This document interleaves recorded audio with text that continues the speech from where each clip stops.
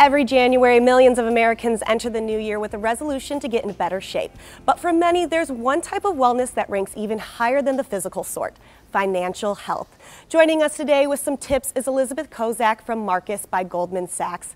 Elizabeth, what can consumers do to start 2019 off on the right financial foot?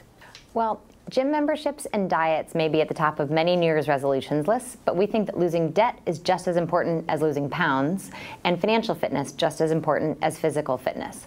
With that in mind, Marcus has launched our financial personality types on our website, and we are giving consumers workout plans to get actionable tips to learn how to manage their debt, boost savings, track spending, or even plan for retirement and manage wealth. Going off of that, you've talked about the four core financial personality types. Can you tell us a little bit about those? Of course.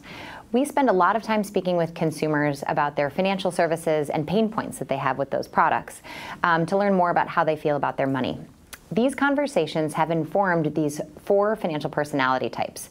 You might be the workout wanderer. You haven't found the right workout yet. You might be managing debt, perhaps from a high interest credit card.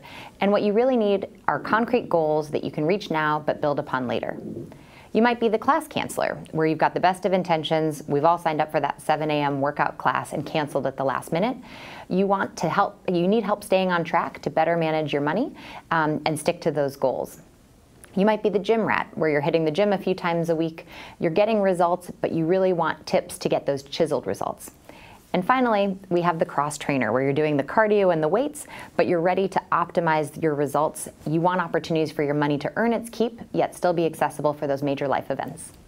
Well, thank you so much, Elizabeth, for all that information. I am going to be checking all of that out. Thank you. Thank you, Tiffany. TV20 Showcase is sponsored by Marcus by Goldman Sachs.